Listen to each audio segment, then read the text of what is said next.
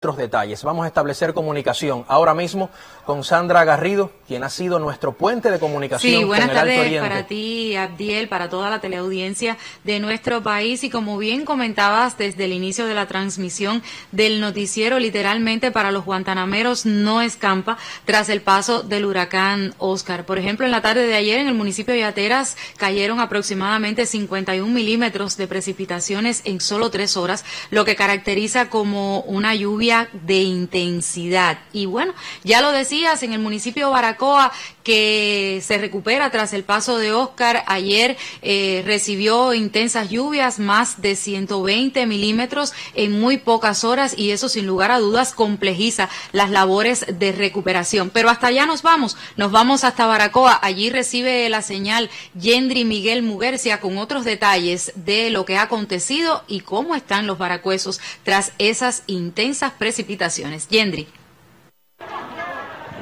Saludos. En las últimas siete horas ha llovido intensamente en Baracoa, acumulándose 128.8 milímetros de agua y estamos en este momento desde la zona conocida como la playa, una zona baja, sus habitantes acostumbrados a las inundaciones, sin embargo dicen que ha llovido como nunca. Otras zonas del municipio, otras demarcaciones permanecen también inundadas y citamos Reforma Urbana, Cabacú, citamos otro popular, otra popular comunidad como es el caso de La Granjita, donde sus pobladores están en este momento evacuando sus pertenencias y por supuesto se mantiene activada la defensa civil. Yo vivo aquí del año 70 por ahí y la más, inundación más grande que ha habido aquí, aquí en esta zona de la playa ha sido esta. La gente ataque, la gente allí de la otra por mi casa la tiene el agua a la cintura casi. Que de momento vino el huracán, barrió y ahora mira esto como está, que la gente ha perdido cosas, pero se le ha mojado todo. Esto es demasiado. Se mojan los colchones, se mojan todo y así estamos, con las afectaciones del ciclón y con esta de ahora. Estamos en plena temporada ciclónica y tras el paso del huracán Oscar, que el pasado día 19 y madrugada del 20 dejó daños significativos en la ciudad privada de Cuba, los baracuenses continuamos accionando y también la defensa civil. Desde este punto de la isla le mantendremos informado de todo lo que acontece para que Baracoa se levante ante estos eventos climatológicos. Así devuelvo la señal. Bueno, y ya ustedes lo han podido apreciar los periodistas del sistema informativo de la televisión en Guantánamo desplegados en el terreno cualquiera que sean las circunstancias, recogiendo información veraz para compartirla con la teleaudiencia. Y, ver, y si de veracidad se trata, justamente eh, hay personas que no tienen en cuenta cuánto puede suceder tras la publicación de una noticia falsa en las redes sociales. Lamentablemente, en horas de la mañana de hoy comenzó a circular que se había roto la cortina de un embalse en el municipio San Antonio del Sur. A continuación, ofrecemos algunas declaraciones de Joel Pérez García, quien es el presidente del Consejo de Defensa en nuestro territorio, desmintiendo semejante información. Queremos informar a la población en primer lugar de San Antonio, de Guantánamo y de toda Cuba y el mundo, que es falso el rumor que se está corriendo sobre una eventual ruptura de la cortina de la presa de San Antonio del Sur. Realmente esto es un rumor corrido por personas malintencionadas que ha generado eh, cierto nivel de pánico en la población que ya, ya previamente ha sufrido una afectación. Repetimos, es falso totalmente lo que está, el rumor que se está ah, eh, eh, corriendo en redes sociales sobre una ruptura de la cortina de la presa de San Antonio del Sur y una nueva inundación al, municipio. Repetimos, es falso totalmente ese rumor. Y hasta el municipio de Maicí se fue el periodista Oreste Ríos Romero y desde allí nos comparte el siguiente reporte. En el Consejo Popular Cantillo, en el municipio de Maicí, los daños cuantificados por Oscar se concentran en las viviendas, la agricultura, y en la red de acueducto. Desde ese territorio, el presidente del Consejo Popular, Alexis Pérez Matos, ofrece otros detalles. Varios derrumbes parciales que se concentran alrededor de 51, techos totales tenemos 10 y derrumbes totales nuevos 10 también en este, en este nuevo huracán. Eh, la agricultura también sufrió importantes daños a partir de la caída de los árboles, eh, donde el café, mayoritariamente nosotros tenemos una apreciación preliminar, preliminar de alrededor de unas 10.000 latas de café que están debajo de los escombros todavía de, que no se han podido recuperar. Pero bueno, el deseo y la virtud de los productores está también encaminada a recuperar y se está entregando café. Y nosotros hoy en los acueductos de tres acueductos que poseemos, ya tenemos el más importante que es Cantillo, que hace, eh, hay una, un total de mil, de mil seis personas que son, se abastecen de este eh, importante acueducto. Ya hoy se recuperó, está recuperado totalmente, ya hoy está dando agua a la población. En el municipio más oriental del país ya se trabaja en la recuperación de la red eléctrica y los viales, severamente afectados por el desastre natural. Arcel Tamayo y Oreste Ríos para este espacio informativo. En el municipio de San Antonio del Sur, las instituciones sanitarias recibieron daños tras el paso de Oscar, pero ya se reorganizan para comenzar a ofrecer servicios a los pobladores. Allí está nuestra periodista Giselle Román y nos cuenta. Sí, muchas gracias a ustedes. Los saludo desde el Policlínico Cuarto Congreso en el municipio San Antonio del Sur.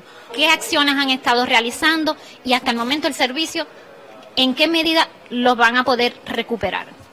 Bueno, aquí se perdieron más de, la, más de un 60% de los equipos. Contamos con ayuda del municipio de Caimanera el primer día, que era la peor parte. 32 trabajadores nos prestó el municipio Caimanera de diferentes entidades, donde logramos por lo menos quitar la, la peor parte. En el día de hoy eh, contamos los trabajadores aquí, limpiamos, restablecimos el servicio de un ultrasonido, no así el prenatal que lo perdimos lamentablemente. Parte de todos los equipos vitales, por ejemplo el ultrasonido, el electro, el equipo que teníamos de operar para patología de cuello también se rescató, los ventiladores, los equipos de los fibriladores de ahí de la terapia, que los ventiladores, todos están ahí gracias a ellos y los fríos, también estamos en espera de los fríos de la farmacia para poder recibir los medicamentos de, la cadena de frío.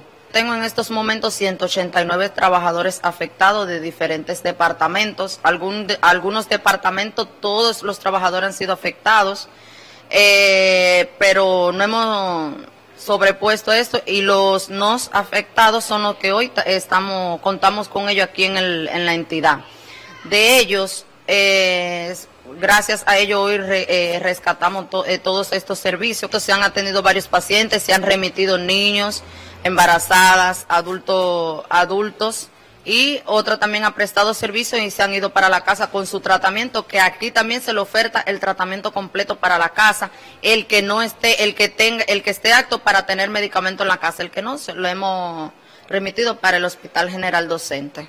Y en COME vino hoy con los medicamentos más vitales que necesitábamos y lo tenemos ya contabilizado y todo en nuestra farmacia, que ya afortunadamente también la logramos rescatar con, con ayuda de los trabajadores del departamento. Bueno, amigos televidentes, ya ven, se ha trabajado muchísimo en San Antonio del Sur. Queda muchísimo también por hacer, pero hay mucha fuerza de voluntad y corazón para que este pueblo nuevamente se levante. Gracias, Giselle. De eso no cabe la menor duda. Y el municipio de Imías, uno de los más afectados tras el paso de Oscar, ayer, bueno, pues fueron abiertos dos viales alternativos que facilitarán sin lugar a dudas en lo adelante las labores de recuperación. Habrá mejor acceso para llevar a esos lugares insumos, alimentos y lo que ellos puedan necesitar. Allí estuvo desde muy temprano en la mañana el periodista Isaac García Cárdenas de nuestro sistema informativo y en el siguiente reporte nos ofrece un amplio bosquejo de lo que fue la jornada de ayer en Imías. El desolador panorama que deja Oscar en Imías y municipios del este de Guantánamo comienza a despejarse. Incentiva al pueblo el apoyo de fuerzas y directivos de organismos protagonistas las FARC y el MININ que llegan a los sitios más afectados. Los damnificados son los principales actores y hoy como nunca, juntos podemos más. Enemías Activos, el miembro del secretariado del Comité Central del Partido, jefe de su Departamento Económico Productivo, Jorge Luis Broche Lorenzo, el presidente del Consejo de Defensa Provincial, Joel Pérez García, el vicegobernador Carlos Martínez Turro, el ministro de la Construcción, René Mesa Villafaña, entre otros directivos. junto a miembros del Consejo de Defensa Municipal y decisores de dependencias provinciales, aprueban importantes medidas. En Guantánamo, en el que hay un nivel de recursos ahí que el Consejo de Defensa Provincial está disponiendo de ellos, eso lo verán con ustedes. Y nosotros vamos a estar por aquí, o sea que vamos a estar apoyando todo el tiempo, sobre todo en los viales y todos los puentes que hay que reparar. Estamos dando paso primero y después restableciendo su condición original cada una de las obras. Son prioridad la recuperación y saneamiento de instituciones, viviendas, comunidades, la restauración de viales, el servicio eléctrico, entre otros asuntos vitales. En cada acción va la solidaridad, humanismo y vínculo con el pueblo. Precisamente desde IMIAS, el presidente del Consejo de Defensa Provincial de Guantánamo, Joel Pérez García, llamó a todas las fuerzas posibles a desarrollar este fin de semana una jornada intensiva y extensiva de esfuerzo decisivo en la provincia. Yo quiero agradecer toda la muestra de solidaridad que hemos recibido por unas diferentes vías de, de cualquier parte de Cuba, diferentes provincias y también fuera de Cuba. Ahora estamos recuperando, proceso recuperativo, eh, todo lo que tiene que volver a la normalidad lo más rápido posible, dejando las cosas mejor que como las teníamos antes, en pintura, en embellecimiento, en transformación, en darle servicios vitales a la población. Y también hemos convocado para el fin de semana una jornada que la hemos llamado Guantánamo se levanta en función de levantarnos ante esta situación.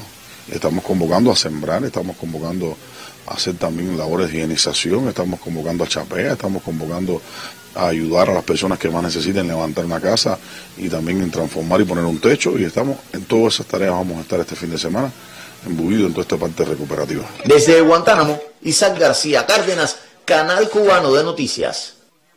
Y antes de despedirnos, les comento que en próximos espacios tendremos detalles acerca del traslado hacia los municipios del este de pasajeros que debieron continuar su viaje hacia esos territorios, pero el huracán Oscar lo impidió. Los que lo harán hasta el municipio de Baracoa y Maicí lo estarán desarrollando este traslado por la provincia de Holguín, o sea, a través de la provincia de Holguín. Es un trayecto muy largo, pero todas las condiciones logísticas están creadas para que este viaje acontezca sin ningún tipo de percance. Y en próximos espacios tendremos detalles, declaraciones de las autoridades pertinentes acerca de cómo se realizará este traslado de las personas que han estado hasta hoy en un centro de evacuación, específicamente en el de la Universidad Guantánamo. Nuestros periodistas continúan desplegados todos en el terreno, recogiendo la información veraz y precisa para compartirla con toda la teleaudiencia de nuestro país. Es todo por el momento. Reitero, en otros espacios